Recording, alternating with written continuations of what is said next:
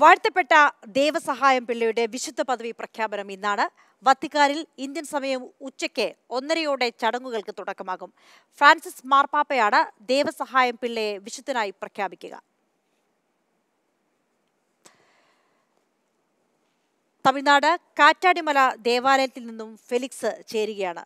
Felix ഈ ദേവസഹായം പിള്ളയെ വിശുദ്ധനായി പ്രഖ്യാപിക്കുമ്പോൾ ഈ കാറ്റാടിമലയിലെ പള്ളിയിലൊക്കെ ഏതൊക്കെ തരത്തിലുള്ള ചടങ്ങുകളാണ് ഇന്ന് നടക്കുന്നത്. വത്തിക്കാനിൽ ഇന്ത്യൻ സമയം ഒന്നരയോടുകൂടി ചടങ്ങുകൾ തുടങ്ങും. അപ്പം അതിന് സമാനമായി ഇവിടെ എന്തൊക്കെ തരത്തിലുള്ള പ്രാർത്ഥനാ ചടങ്ങുകൾ ഉണ്ടാകും?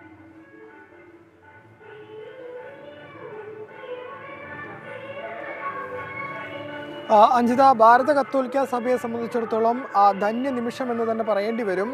ഭാരതത്തിൽ നിന്നും ആദ്യമായാണ് ഒരു അൽമായൻ വിശുദ്ധനായി മാറുന്നത് എന്നാണ്. നേരത്തെ പുരോഹിതരും സന്യസ്തരും ഒക്കെ തന്നെ വിശുദ്ധരായിട്ടുണ്ടെങ്കിലും ഒരു വിശ്വാസിയും ആ വിശുദ്ധ ഗണത്തിലേക്ക് ഉയർത്തപ്പെടുന്നത് ഇതാദ്യമായാണ് ആ ഒരു പ്രത്യേകതയുണ്ട് ഏതായാലും കാറ്റാടി മലയിലെ കാറ്റാടി മലയിൽ വെച്ചാണ് ദേവസഹായം പിള്ള വെടിയേറ്റ് മരിച്ചു വീഴുന്നത്. അദ്ദേഹത്തിന്റെ രക്തസാക്ഷിത്വം വഹിക്കുന്നത് ഇവിടെ വെച്ചാണ്. അപ്പോൾ ഇവിടെ ആ, സ്ഥലത്ത് പ്രാർത്ഥനകൾ രണ്ട് ദിവസം മുമ്പ് തന്നെ പ്രത്യേക പ്രാർത്ഥനകൾ ആരംഭിച്ചിരുന്നു. ഇപ്പോൾ പ്രാർത്ഥനകൾ തുടരുകയാണ്.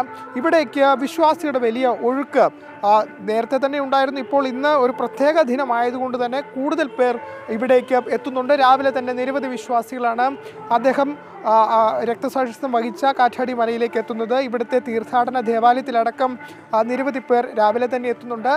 പത്തു മണിക്ക് മലയാളത്തിൽ വിശുദ്ധ കുർബാന ഉണ്ടാകും എന്നാണ് വൈദികർ അടക്കം അറിയിക്കുന്നത്. ഏതായാലും കത്തോലിക്ക സഭയെ സംബന്ധിച്ചിടത്തോളം ഒരു ധന്യ നിമിഷം തന്നെയാണ് ഇന്നത്തേതെന്ന് പറയേണ്ടി വരും.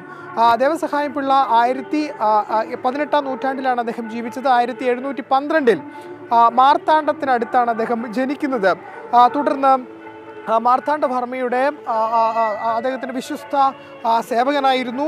അതിനുശേഷം അദ്ദേഹം ഡച്ച് സേനയെ പരാജയപ്പെടുത്തിയതിന് പിന്നാലെ ഡച്ച് സൈനാധിപനായിരുന്ന ആ വ്യക്തിയുമായി ഇദ്ദേഹം സൗഹൃദം പുലർത്തുകയും പിന്നീട് അദ്ദേഹം ക്രിസ്തു മതത്തിലേക്ക് ആകർഷണമാകുകയും ക്രിസ്തു മതം സ്വീകരിക്കുകയുമായിരുന്നു. പിന്നീട് ആ, ഒരു സമയത്ത് വലിയ രീതിയിൽ ഉച്ചനീചിത്വങ്ങൾ ജാതി വിവേചനങ്ങളൊക്കെ നിലനിരുന്ന ഒരു സമയമായിരുന്നു. ആ സമയത്ത് അതിനെതിരെ പാർശ്വവൽക്കരിക്കപ്പെട്ടവർക്കൊപ്പം നിന്ന് പ്രവർത്തിച്ച ആ വ്യക്തി കൂടിയാണ് അദ്ദേഹം. അതിനുശേഷമാണ് അദ്ദേഹത്തിനെതിരെ വലിയ രീതിയിലുള്ള എതിർപ്പ് ഉണ്ടാകുന്നത്. അങ്ങനെ ആ എതിർപ്പിന് പിന്നാലെ ആ, അദ്ദേഹത്തെ അദ്ദേഹത്തിന് വധശിക്ഷ നൽകാൻ രാജാവ് വിധിക്കുന്നു. അങ്ങനെ ആയിരത്തി എഴുന്നൂറ്റി അൻപത്തി രണ്ടിൽ അദ്ദേഹത്തെ ഈ കാറ്റാടി മലയിൽ കൊണ്ടുവന്ന് അദ്ദേഹത്തെ വെടിവെച്ച് കൊല്ലുകയായിരുന്നു. എന്നതാണ് ചരിത്രം.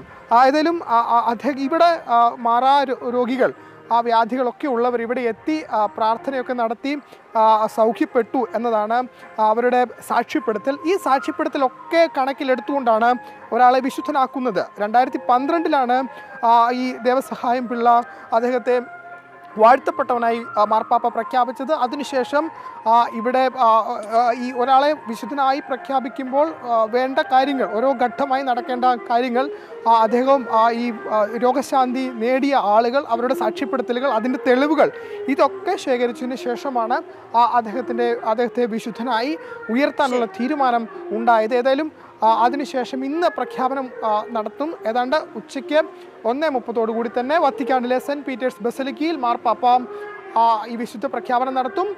ദേവസഹായം പിള്ളയ്ക്കൊപ്പം മറ്റ് ഒൻപത് പേർ കൂടി ഇന്ന് വിശുദ്ധരാകുന്നു എന്ന പ്രത്യേകതയുമുണ്ട്.